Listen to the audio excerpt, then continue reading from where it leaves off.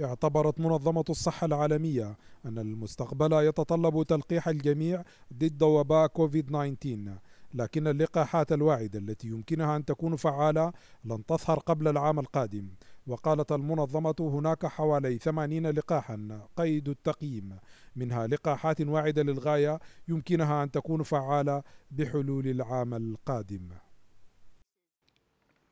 A vaccine is still at least 12 to 8, 18 months away. In the meantime, we recognize that there is an urgent need for therapeutics to treat patients and save lives, which will compare the safety and effectiveness of, our, of four different drugs or drug combinations against COVID 19.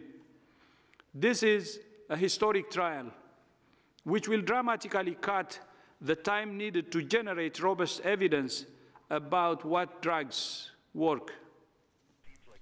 ولكن المنظمة الدولية للصحة العالمية عادت وأكدت مؤخرا أن فيروس كورونا محير للغاية إذ من الصعب إنتاج لقاح مضاد له مشيرة إلى ضرورة إجراء المزيد من الأبحاث في خطوة وصفها المراقبون بالتناقض. وأوضحت مارغريت هاريس المتحدثة باسم المنظمة أنهم ينتظرون المزيد من نتائج الأبحاث قبل اعتماد أفضلها كعلاج نهائي للفيروس المستجد. I think our vaccine is different from most others by, by, by the huge scalability it has. This makes it rather unique because most others are much more difficult to, you know, to, to make billions of doses within a short time frame. So I think this is where we are unique. وبرغم أن منظمة الصحة العالمية أطلقت مبادرات لتسريع وتيرة إنتاج لقاحات وعلاجات لفيروس كورونا إلا أنه لا يوجد لقاح حتى الآن يقضي على الفيروس أو يوقف مسيرته.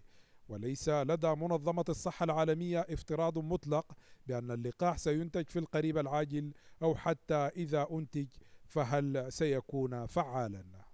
مبادرات أطلقتها منظمة الصحة العالمية لإيجاد لقاح لفيروس كوفيد 19 ولكنها وصفت الفيروس مؤخرا بالغامض ومن الصعوبة إيجاد لقاح له.